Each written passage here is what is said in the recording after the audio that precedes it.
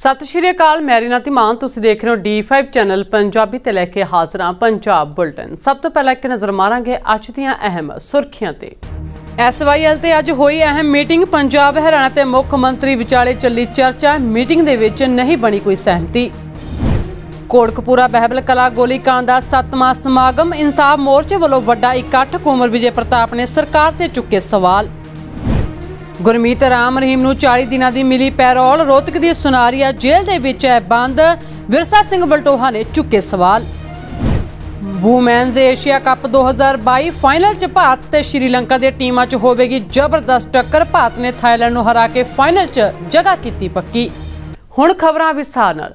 ਗੱਲ ਕਰਾਂਗੇ ਐਸਵਾਈਐਲ ਦੇ ਮੁੱਦੇ ਨੂੰ ਲੈ ਕੇ ਕਿ ਐਸਵਾਈਐਲ ਦੇ ਮੁੱਦੇ ਤੇ ਅੱਜ ਪੰਜਾਬ ਤੇ ਹਰਿਆਣਾ ਦੇ ਮੁੱਖ ਮੰਤਰੀਆਂ ਦੀ ਆਪਸ ਦੇ ਵਿੱਚ ਮੀਟਿੰਗ ਹੋਈ ਅਤੇ ਇਹ ਮੀਟਿੰਗ ਵੀ ਬੇਸਿੱਟਾ ਨਿਕਲੀ ਕਿਉਂਕਿ ਇਸ ਮੁੱਦੇ ਦੇ ਉੱਤੇ ਕੋਈ ਵੀ ਸਹਿਮਤੀ ਨਹੀਂ ਬਣੀ। ਉੱਥੇ ਜੇਕਰ ਗੱਲ ਕੀਤੀ ਜਾਵੇ ਪੰਜਾਬ ਦੇ ਮੁੱਖ ਮੰਤਰੀ ਭਗਵੰਤ ਮਾਨ ਦੀ ਤਾਂ ਮੀਟਿੰਗ ਤੋਂ ਬਾਅਦ ਉਹਨਾਂ ਦੇ ਵੱਲੋਂ ਪ੍ਰੈਸ ਕਾਨਫਰੰਸ ਕੀਤੀ ਗਈ, ਜਿਸ ਦੇ ਵਿੱਚ ਉਹਨਾਂ ਦਾ ਕਹਿਣਾ ਹੈ ਕਿ ਸਾਡੇ ਕੋਲ ਇੰਨਾ ਪਾਣੀ ਹੈ ਹੀ ਨਹੀਂ ਕਿ ਅਸੀਂ ਹਰਿਆਣਾ ਨੂੰ ਦੇ ਦਈਏ। ਹਰਿਆਣੇ ਨੂੰ ਇਹ ਪੱਖ ਰੱਖਿਆ ਹਰਿਆਣਾ ਕਹਿੰਦਾ ਵੀ ਐਸਵਾਈਐਲ ਦਾ ਨਿਰਮਾਣ ਸ਼ੁਰੂ ਕਰੋ। ਅਸੀਂ ਕਹਾਂ ਜੀ, ਜਦੋਂ ਸਾਡੇ ਕੋਲੇ ਪਾਣੀ ਹੈ ਨਹੀਂ, ਨਹਿਰ ਕਾਹਦੇ ਵਾਸਤੇ ਬਣਾਉਣੀ ਆ ਸਾਡੇ ਪਾਣੀ ਦਾ ਰਿਵਿਊ ਕਰ ਲਓ ਅੱਜ, ਕਿੰਨਾ ਰਹਿ ਗਿਆ ਸਾਡੇ ਕੋਲੇ। 1981 ਵੇਲੇ ਦੀ ਗੱਲ, ਹੋਰ ਹੈ ਮੇਰੇ ਬਹੁਤ ਸੀਨੀਅਰ ਪੱਤਰਕਾਰ ਖੜੇ ਨੇ। 1981 ਵੇਲੇ 5-7 ਫੁੱਟ ਤੇ ਬੋਰ ਲੱਗ ਜਾਂਦਾ ਸੀ, ਪਾਣੀ ਆ ਜਾਂਦਾ ਸੀ। ਹੁਣ 600 ਫੁੱਟ ਤੇ ਚਲੇ ਗਿਆ, ਥੱਲੇ ਥੱਲੇ ਧਰਤੀ ਵਾਲਾ ਪਾਣੀ ਵੀ ਖਤਮ ਕਰ ਲਿਆ। ਅਸੀਂ ਇਹ ਕਿਹਾ ਕਿ ਹਰਿਆਣੇ ਨੂੰ ਜੇ ਪਾਣੀ ਦੀ ਘਾਟ ਹੈ ਹਰਿਆਣੇ ਦੇ ਲੋਕਾਂ ਨੂੰ ਪਾਣੀ ਚਾਹੀਦਾ ਸਿੰਚਾਈ ਵਾਸਤੇ ਜਾਂ ਜਿਹੜੇ ਮਰਜ਼ੀ ਇਸਤੇਮਾਲ ਵਾਸਤੇ। ਤਾਂ ਪੰਜਾਬ ਤੇ ਹਰਿਆਣਾ ਦੋਨੇ ਸਟੇਟਾਂ ਪ੍ਰਧਾਨ ਮੰਤਰੀ ਜੀ ਕੋਲ ਚੱਲਦੇ ਆ ਨਰਿੰਦਰ ਮੋਦੀ ਜੀ ਕੋਲ। ਉਹਨਾਂ ਨੂੰ ਦੱਸ ਦਿੰਨੇ ਆ ਤੇ ਨਰਿੰਦਰ ਮੋਦੀ ਜੀ ਹਰਿਆਣੇ ਵਾਸਤੇ ਕੋਈ ਯਮਨਾ ਚੋਂ ਜਾਂ ਗੰਗਾ ਚੋਂ ਉਧਰੋਂ ਪ੍ਰਬੰਧ ਕਰ ਦੇਣ। ਸਾਡੇ ਕੋਲੇ ਪਾਣੀ ਹੈ ਨਹੀਂ। ਅਸੀਂ ਕੋਈ ਦੁਸ਼ਮਣੀ ਨਹੀਂ ਸਾਡੀ, ਪਰ ਜਦੋਂ ਜਿਹੜੀ ਚੀਜ਼ ਸਾਡੇ ਕੋਲ ਹੈ ਹੀ ਨਹੀਂ, ਉਹ ਕਿੱਥੋਂ ਦੇ ਦਈਏ?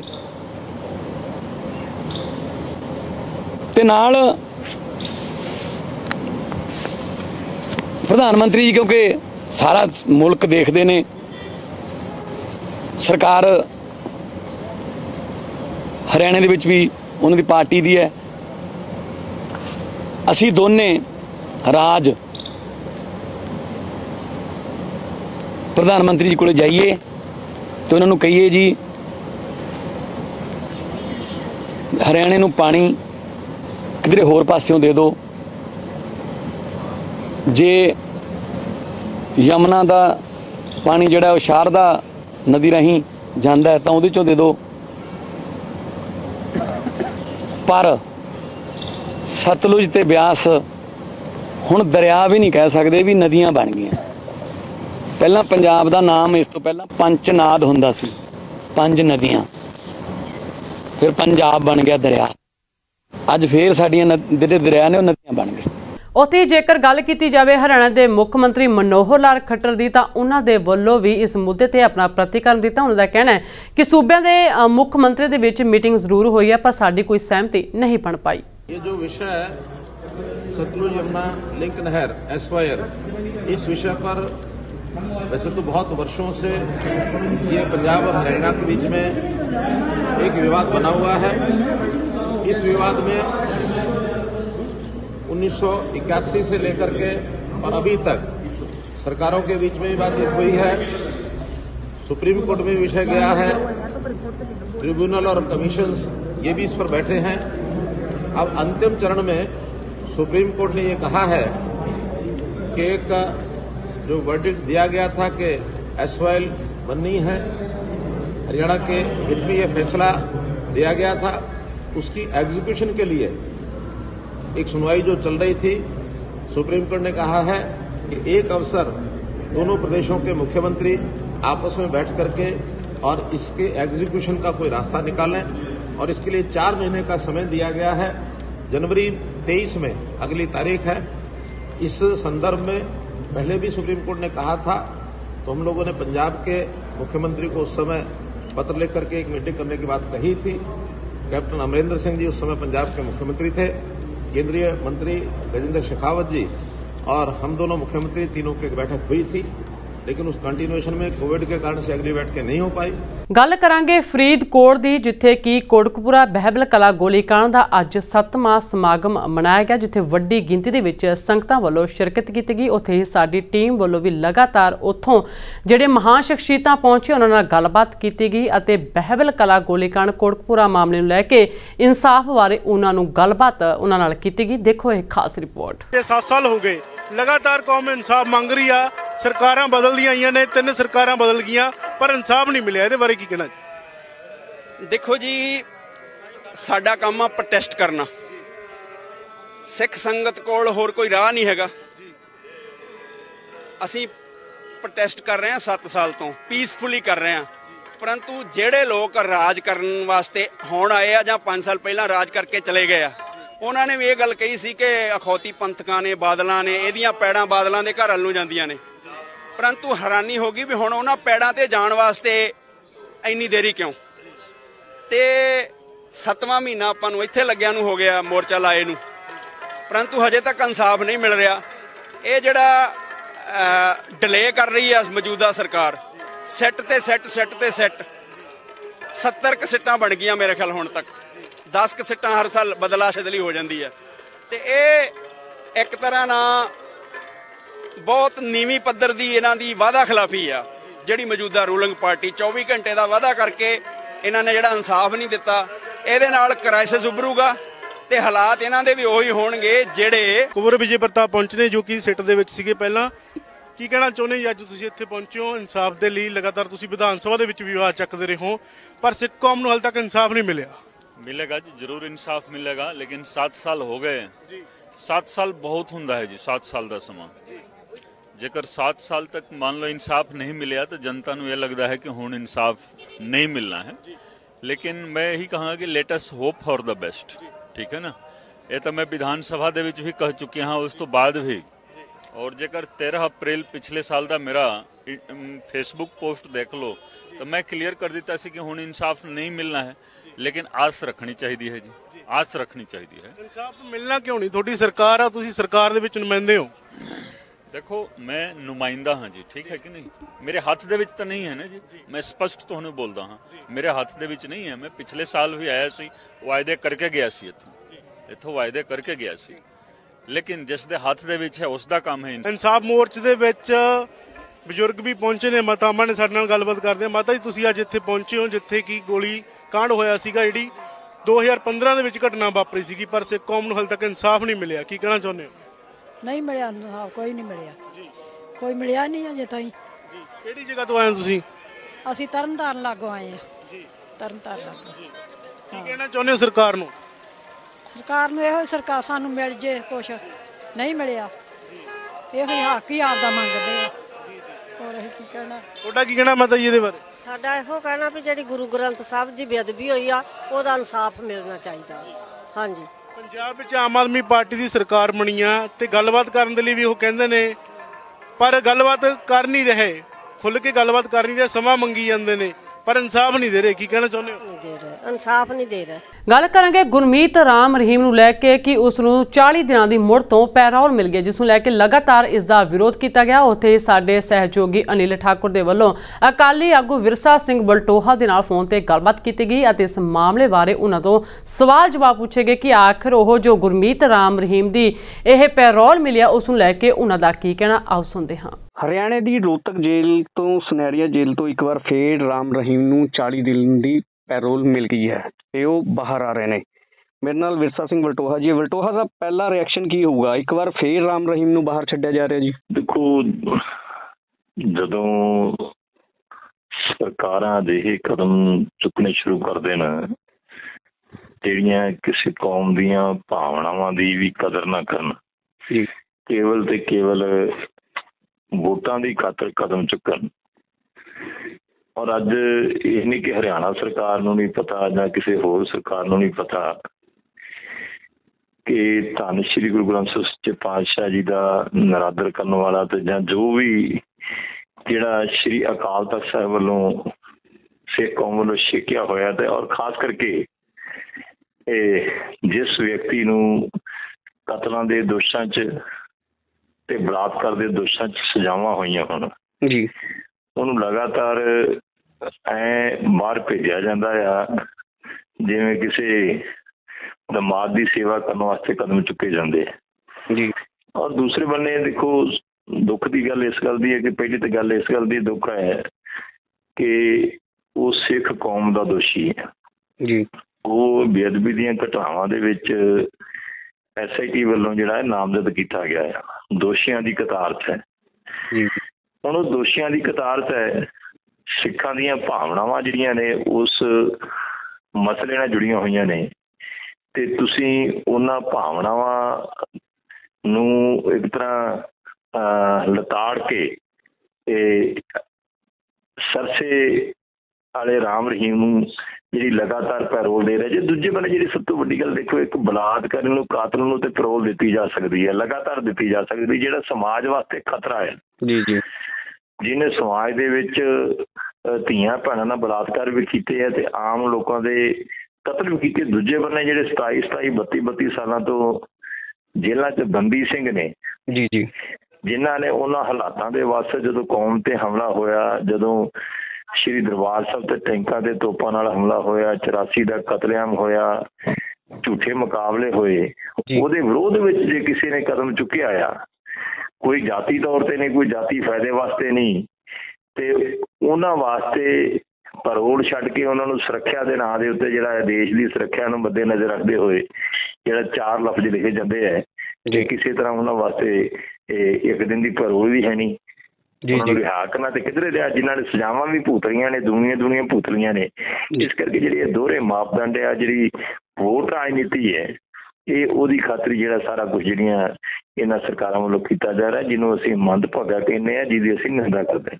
ਜੀ ਜੀ ਜੀ। ਬਹੁਤ ਬਹੁਤ ਧੰਨਵਾਦ ਜੀ। ਖਬਰ ਬਠਿੰਡਾ ਤੋਂ ਬਠਿੰਡਾ ਦੇ ਵਿੱਚ ਜਿਹੜੇ ਵਿਵਾਦਿਤ ਪੋਸਟਰ ਲੱਗੇ ਨੇ ਉਹ ਮਾਮਲਾ ਲਗਾਤਾਰ ਗਰਮਾਉਂਦਾ ਜਾ ਰਿਹਾ ਜਿਸ ਨੂੰ ਲੈ ਕੇ ਪੁਲਿਸ ਵੱਲੋਂ ਕਾਰਵਾਈ ਕਰਦੇ ਹੋਏ ਇਸ ਦੇ ਵਿੱਚ ਦੋ ਜਾਣਿਆਂ ਦੇ ਉੱਤੇ ਮਾਮਲਾ ਦਰਜ ਕਰਕੇ ਉਹਨਾਂ ਨੂੰ ਹਿਰਾਸਤ ਦੇ ਵਿੱਚ ਲੈ ਲਿਆ ਗਿਆ। ਦੱਸਿਆ ਜਾ ਰਿਹਾ ਕਿ ਇੱਕ ਪੋਸਟਰ ਲਗਾਇਆ ਗਿਆ ਜਿਸ ਦੇ ਵਿੱਚ ਲੜਕੀਆਂ ਦੇ ਸੁੰਦਰਤਾ ਦਾ ਜਿਹੜਾ ਮੁਕਾਬਲਾ ਕਰਵਾਇਆ ਗਿਆ ਜਿਹਦਾ ਲਗਾਤਾਰ ਵਿਰੋਧ ਕੀਤਾ ਗਿਆ।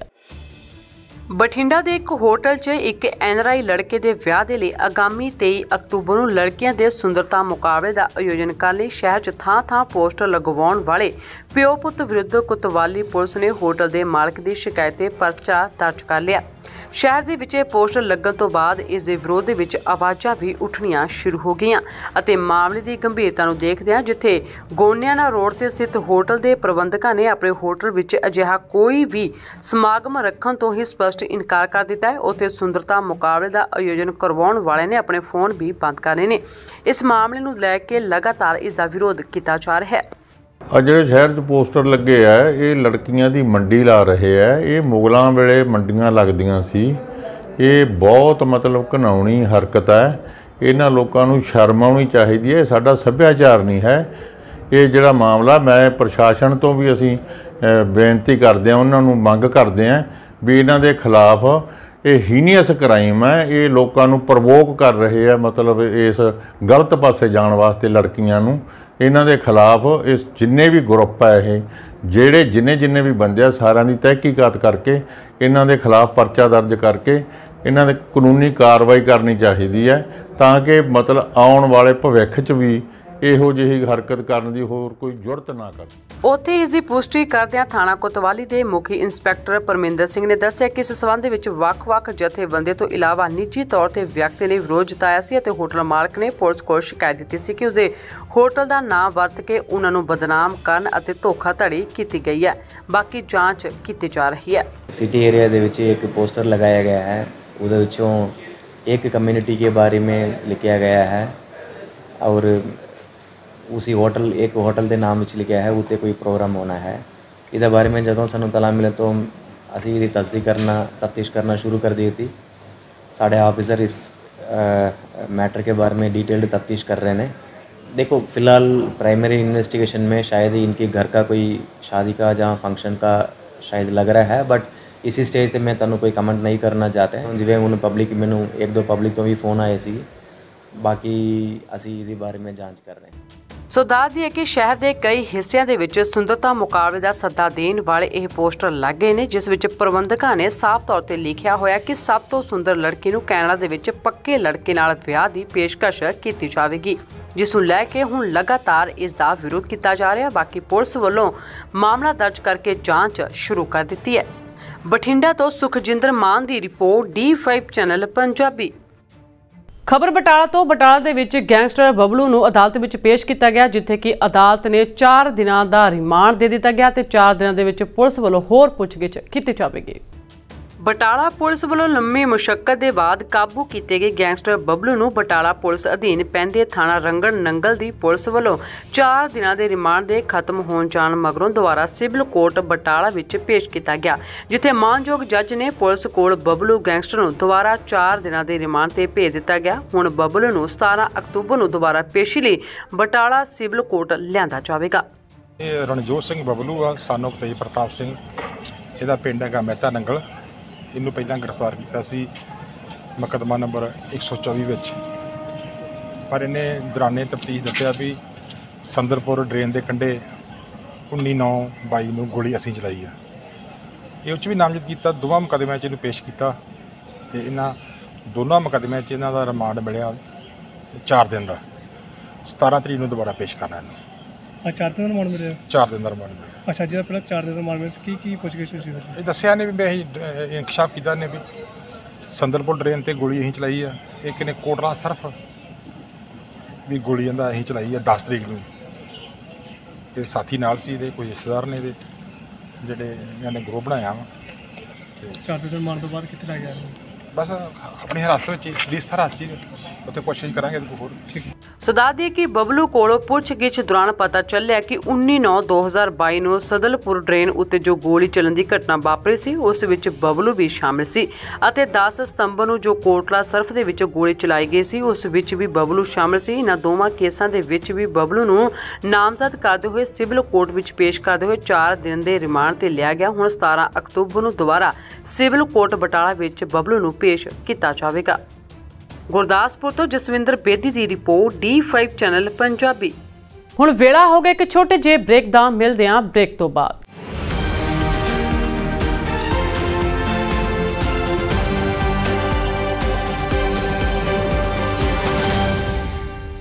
ਕੀ ਹੁੰਦੀ ਹੈ ਜਮਾਬੰਦੀ? ਕਿਵੇਂ ਬਣਦੀ ਹੈ ਵਸੀਅਤ? ਜ਼ਮੀਨ ਜਾਇਦਾਦ ਦੇ ਹਰ ਮਸਲੇ ਤੇ ਕਰਾਂਗੇ ਚਰਚਾ। ਦੇਖਣਾ ਨਾ ਭੁੱਲਣਾ ਸਾਡਾ ਖਾਸ ਪ੍ਰੋਗਰਾਮ। naibtehsildar.com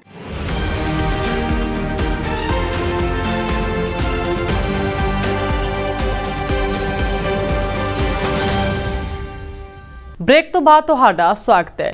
ਗੱਲ ਕਰਾਂਗੇ ਫਿਰੋਜ਼ਪੁਰ ਦੀ। ਫਿਰੋਜ਼ਪੁਰ ਦੇ ਵਿੱਚ ਡੀਸੀ ਦੇ ਵੱਲੋਂ ਪ੍ਰੈਸ ਕਾਨਫਰੰਸ ਕੀਤੀ ਗਈ, ਜਿਸ ਦੇ ਵਿੱਚ ਉਹਨਾਂ ਨੇ ਨਜਾਇਜ਼ ਮਾਈਨਿੰਗ ਨੂੰ ਲੈ ਕੇ ਕਾਰਵਾਈ ਕਰਨ ਦੀ ਗੱਲ ਕਹੀ ਹੈ। ਉਹਨਾਂ ਦਾ ਕਹਿਣਾ ਹੈ ਕਿ ਕਿਸੇ ਵੀ ਕੀਮਤ ਦੇ ਉੱਤੇ ਨਜਾਇਜ਼ ਮਾਈਨਿੰਗ ਬਰਦਾਸ਼ਤ ਨਹੀਂ ਕੀਤੀ ਜਾਵੇਗੀ ਅਤੇ ਜਿੱਥੇ ਵੀ ਜਾਣਕਾਰੀ ਮਿਲੇਗੀ, ਉੱਥੇ ਜਾ ਕੇ ਜਗ੍ਹਾ ਦਾ ਜਾਇਜ਼ਾ ਵੀ ਲਿਆ ਜਾਏਗਾ ਤੇ ਨਜਾਇਜ਼ ਮਾਈਨਿੰਗ ਨੂੰ ਰੋਕਿਆ ਜਾਵੇਗਾ ਅਤੇ ਦੋਸ਼ੀਆਂ ਦੇ ਖਿਲਾਫ ਕਾਰਵਾਈ ਕੀਤੀ ਜਾਵੇਗੀ।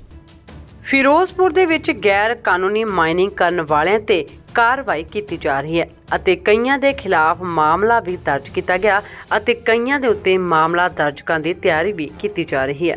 ਫਿਰੋਜ਼ਪੁਰ ਦੇ ਵਿੱਚ ਤਿੰਨ ਰੇਤ ਦੇ ਟੋਏ ਕਮਾਲ ਵਾਲਾ ਜਾਮਾ ਮੇਗਾ, ਦੋਨਾ ਮਟਾਲ ਨੇ ਕਈ ਜ਼ਿਲ੍ਹੇ ਇਨ੍ਹਾਂ ਖੱਡਿਆਂ ਤੋਂ ਰੇਤ ਲੈਂਦੇ ਨੇ। ਫਿਰੋਜ਼ਪੁਰ ਤੋਂ ਡਿਪਟੀ ਕਮਿਸ਼ਨਰ ਅਮਰਿਤ ਸਿੰਘ ਨੇ ਮਾਈਨਿੰਗ ਸੰਬੰਧੀ ਪ੍ਰੈਸ ਕਾਨਫਰੰਸ ਕੀਤੀ। ਡਿਪਟੀ ਕਮਿਸ਼ਨਰ ਨੇ ਦੱਸਿਆ ਕਿ ਐਸਐਸਪੀ ਫਿਰੋਜ਼ਪੁਰ ਨਾਲ ਚੈਕਿੰਗ ਕਰਨ ਲਈ ਉਹ ਗਏ ਸਨ, ਜਿੱਥੇ ਦੋਵਾਂ ਥਾਵਾਂ ਤੇ ਤਾਜ਼ਾ ਨਜਾਇਜ਼ ਮਾਈਨਿੰਗ ਦੇਖੀ ਗਈ, ਜਿਸ ਤੋਂ ਬਾਅਦ ਅਸੀਂ ਇਹਨਾਂ ਨੂੰ ਕਾਬੂ ਕੀਤਾ ਤੇ ਅੱਗੇ ਮਾਮਲਾ ਦਰਜ ਕਰਕੇ ਜਾਂਚ ਕੀਤੀ ਜਾ ਰਹੀ ਹੈ। ਸੀ ਕਾਫੀ ਥਾਵਾਂ ਤੇ ਫਰੈਸ਼ ਮਾਈਨਿੰਗ ਪਾਈ। ਆਲਦੋ ਸਾਨੂੰ ਕੋਈ ਵਹੀਕਲਸ ਨਹੀਂ ਲੱਭੀਆਂ, ਕੋਈ ਬੰਦੇ ਨਹੀਂ ਲੱਭੇ ਜਿਸ ਤਰੀਕੇ ਦੇ ਨਾਲ ਵੀ ਅਗਰ ਉਹਨਾਂ ਨੂੰ ਇਨਫੋਰਮੇਸ਼ਨ ਲੱਗੀ ਹੋਗੀ ਤਾਂ ਉਹ ਚਲੇ ਗਏ ਹੋਣਗੇ ਮੌਕੇ ਤੋਂ। But we could see that it was fresh illegal mining which was happening over there. Mining department ਦੇ ਅਫੀਸ਼ੀਅਲਸ ਵੀ ਸਾਡੇ ਨਾਲ ਸੀਗੇ। ਤੇ ਉਹਨਾਂ ਦੇ ਜਿਹੜੇ ਲੈਂਡ ਓਨਰਸ ਹੈ, ਉਹਨਾਂ ਦਾ ਰੈਵਨਿਊ ਰਿਕਾਰਡ ਕੱਢ ਕੇ ਅਸੀਂ ਉਹਨਾਂ ਦੇ ਉੱਤੇ ਕਾਨੂੰਨੀ ਕਾਰਵਾਈ ਦੇ ਲਈ ਐਸਐਸਪੀ ਸਾਹਿਬ ਨੂੰ ਲਿਖਤਾ ਸੀਗਾ। ਤੇ ਕੱਲ ਰਾਤ ਨੂੰ ਜਿਹੜੀ ਦੋ ਸਾਈਟਾਂ ਅਸੀਂ ਦੇਖੀਆਂ ਸੀਗੀਆਂ, ਉਹ ਸੀਗੀਆਂ ਗੁਰਦਿੱਤੀ ਵਾਲਾ ਔਰ ਬੋਰਾ ਵਾਲੀ ਤੇ ਇਹਦੇ ਵਿੱਚ ਬੋਰਾਵਾਲੀ ਵਾਲੀ ਜਿਹੜੀ ਸਾਈਟ ਸੀਗੀ, ਉਹਦੇ ਉੱਤੇ ਐਫ ਆਈ ਆਰ ਦਰਜ ਹੋ ਚੁੱਕੀ ਹੈ। ਗੁਰਦਿੱਤੀ ਵਾਲਾ ਜਿਹੜਾ ਹੈਗਾ, ਉਹ ਅੰਡਰ ਪ੍ਰੋਸੈਸ ਹੈਗੀ ਐਸਐਸਪੀ ਸਾਹਿਬ ਦੇ ਕੋਲ ਹੈ। ਔਰ ਇਸ ਤੋਂ ਇਲਾਵਾ ਅਸੀਂ ਮਾਈਨਿੰਗ ਡਿਪਾਰਟਮੈਂਟ ਨੂੰ ਵੀ ਇਹ ਹਦਾਇਤ ਦਿੱਤੀ ਸੀਗੀ, ਅੱਜ ਵੀ, ਕਿ ਉਹ ਵੱਖ-ਵੱਖ ਮੌਕੇ ਤੇ ਜਾ ਕੇ ਦੇਖਣ ਕਿੱਥੇ-ਕਿੱਥੇ ਉਹਨਾਂ ਨੂੰ ਫਰੈਸ਼ ਮਾਈਨਿੰਗ ਦੇ ਸਾਈਨਸ ਦਿਖਦੇ ਨੇ ਔਰ ਉੱਥੇ ਵੀ ਜਿਹੜਾ ਹੈਗਾ ਲੈਂਡ ਓਨਰਸ ਦੇ ਉੱਤੇ ਕਾਨੂੰਨੀ ਕਾਰਵਾਈ ਕੀਤੀ ਜਾਵੇ। ਤੇ ਹਮ ਹਾਮਦ ਵਾਲਾ ਔਰ ਮਾਛੀਵਾੜਾ, ਇਹ ਦੋ ਸਾਈਟਾਂ ਸਾਨੂੰ ਅੱਜ ਦੀ ਡੇਟ ਦੇ ਵਿੱਚ ਆਈਡੈਂਟੀਫਾਈ ਹੋਈਆਂ। ਇਹਨਾਂ ਦੇ ਉੱਤੇ ਵੀ ਪਰਚੇ ਦਰਜ ਕਰ ਦਿੱਤੇ ਗਏ ਨੇ। ਮੈਮ ਦੇਖਿਆ ਅਗਰ ਹੋਰ ਵੀ ਨੋਟਿਸ ਦੇ ਵਿੱਚ ਆਂਦਾ ਤੇ ਕਾਰਵਾਈ ਕੀ ਕੀਤੀ ਜਾਵੇਗੀ? ਹਾਂ ਸੋ ਇਹਦੇ 'ਚ ਜਿਹੜੀ ਮਾਈਨਿੰਗ ਡਿਪਾਰਟਮੈਂਟ ਨੂੰ ਮੇਰੀ ਕਲੀਅਰ ਹਦਾਇਤਾਂ ਹੈਗੀਆਂ ਕਿ ਸਾਨੂੰ ਇਹਨਾਂ ਦੀ ਹੈਲਪਲਾਈਨ ਵੀ ਹੈਗੀ ਹੈ, ਵੈਸੇ ਵੀ ਕਾਫੀ ਸਾਰੀ ਕੰਪਲੇਂਟਸ ਆਉਂਦੀਆਂ ਨੇ। ਤਾਂ ਉਹਨਾਂ ਦੇ ਆਧਾਰ ਤੇ ਇਹਨਾਂ ਨੇ ਕੁਝ ਹੌਟ ਆਈਡੈਂਟੀਫਾਈ ਕਰ ਕਰ ਲਏ ਹੋਏ ਨੇ ਕਿ ਇੱਥੇ ਇੱਥੇ ਹੀ ਜਿਹੜੀ ਹੈਗੀ ਲੀਗਲ ਮਾਈਨ ਮਾਈਨਿੰਗ ਹੁੰਦੀ ਹੈ। ਤੇ ਉਹ ਜਿਹੜੇ ਹੌਟ ਸਪੌਟਸ ਹੈ, ਉਹਨਾਂ ਦਾ ਲੈਟ ਲੌਂਗ ਲੈ ਕੇ ਗੂਗਲ ਮੈਪਸ ਦੇ ਉੱਤੇ ਉਹਨੂੰ ਆਈਡੈਂਟੀਫਾਈ ਕਰਾਣਾ ਔਰ ਉੱਥੋਂ ਦੇ ਸਾਰੇ ਚੋਕ ਪੁਆਇੰਟਸ ਵੀ ਆਈਡੈਂਟੀਫਾਈ ਕਰਨਾ ਇਹ ਪੁਲਿਸ ਨੂੰ ਹਦਾਇਤ ਕੀਤੀ ਗਈ ਹੈਗੀ ਹੈ ਕਿ ਉਹ ਕਰਨ ਤੇ ਉੱਥੇ ਜਿਹੜਾ ਹੈਗਾ ਭਾਵੇਂ ਪੱਕੇ ਨਾਕੇ ਦੀ ਲੋੜ ਹੈਗੀ ਹੈ ਜਾਂ ਫਿਰ ਜ਼ਿਆਦਾ ਗਸ਼ਤ ਦੀ ਲੋੜ ਹੈਗੀ ਹੈ, ਉਹ ਸਾਰੀ ਚੀਜ਼ਾਂ ਕਰਨ। ਔਰ ਮੈਂ ਜਿਹੜੇ ਵੀ ਲੋਕ ਇਲੀਗਲ ਮਾਈਨਿੰਗ ਦੇ ਵਿੱਚ ਇੰਡਲਜ ਕਰ ਰਹੇ ਨੇ, ਉਹਨਾਂ ਨੂੰ ਵੀ ਮੈਂ ਇਹ ਦੱਸਣਾ ਚਾਹਾਂਗੀ, ਸਿਰਫ ਕੱਲਾ ਇੱਕ ਇਹ ਤਰੀਕਾ ਨਹੀਂ ਹੈਗਾ ਇਲੀਗਲ ਮਾਈਨਿੰਗ ਫੜਨ ਦਾ ਕਿ ਅਸੀਂ ਤੁਹਾਨੂੰ ਰਾਤ ਦੇ ਵਿੱਚ ਜਾ ਕੇ ਲੱਭੀਏ, ਤੁਸੀਂ ਸਾਨੂੰ ਰੰਗੇ ਹੱਥੋਂ ਮਿਲ ਜਾਓ, ਤਾਂ ਫਿਰ ਤੁਹਾਡੇ ਉੱਤੇ ਕਾਰਵਾਈ ਹੋਏਗੀ। ਨੈਕਸਟ ਡੇ ਮਾਰਨਿੰਗ ਆਲਸੋ ਅਸੀਂ ਅਗਰ ਉੱਥੇ ਜਾਈਏ ਔਰ ਸਾਨੂੰ ਅਸਾਰ ਮਿਲੇ ਇਲੀਗਲ ਮਾਈਨਿੰਗ ਦੇ, ਤਾਂ ਵੀ ਜਿਹੜੇ ਲੈਂਡ ਓਨਰਸ ਹੈ ਉਹਦੇ ਉੱਤੇ ਕਾਰਵਾਈ ਹੋ ਜਾਏਗੀ। So like I said this is zero tolerance towards mining and ਇਹ ਜਿਹੜਾ ਹੈਗਾ ਬਹੁਤ ਸਖਤੀ ਨਾਲ ਇੰਪਲੀਮੈਂਟ ਕਰਾਇਆ ਜਾਏਗਾ। ਸੋ ਦੱਸ ਦਈਏ ਕਿ ਗੈਰ ਕਾਨੂੰਨੀ ਮਾਈਨਿੰਗ ਦਾ ਮੁੱਦਾ ਵੀ ਲਗਾਤਾਰ ਗਰਮਾਉਂਦਾ ਜਾ ਰਿਹਾ, ਜਿੱਥੇ ਸਿਆਸੀ ਆਗੂਆਂ ਦੇ ਵੱਲੋਂ ਇਸ ਦੇ ਬਿਆਨ ਕੀਤੇ ਜਾ ਰਹੇ ਨੇ, ਉੱਥੇ ਹੀ ਹੁਣ ਗੈਰ ਕਾਨੂੰਨੀ ਮਾਈਨਿੰਗ ਤੇ ਸਕੰਜਾ ਵੀ ਕੱਸਿਆ ਜਾ ਰਿਹਾ ਹੈ। ਫਿਰੋਜ਼ਪੁਰ ਤੋਂ ਪਰਮਜੀਤ ਪੰਮਾ ਦੀ report D5 channel Punjabi.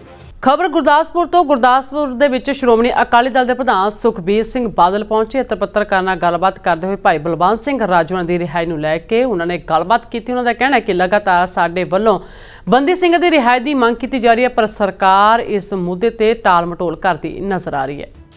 Sukhbir Singh Badal ਨੇ ਗੱਲਬਾਤ ਦੌਰਾਨ ਭਾਈ ਬਲਵੰਤ ਸਿੰਘ ਰਾਜਵਾਨਾ ਦੇ ਉੱਤੇ ਕੇਂਦਰ ਸਰਕਾਰ ਵੱਲੋਂ ਲਏ ਗਏ ਸਟੈਂਡ ਦੀ ਸਖਤ ਸ਼ਬਦਾਂ ਦੇ ਵਿੱਚ ਨਿਖੇਧੀ ਕੀਤੀ।